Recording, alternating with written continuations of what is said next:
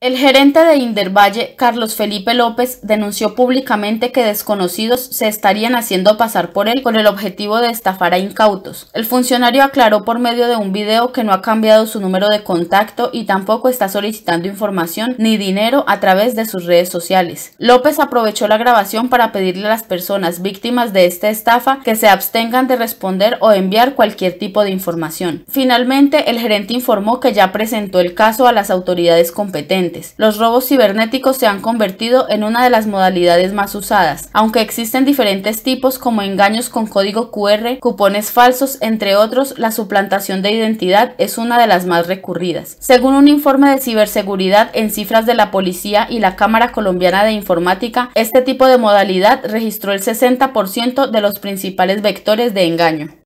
Quiero informarles a toda la comunidad del deporte, a mi familia, amigos, compañeros de gabinete, todas las personas que tienen un vínculo conmigo, no he cambiado mi número telefónico ni estoy enviando mensajes de números desconocidos que utilizan mi imagen.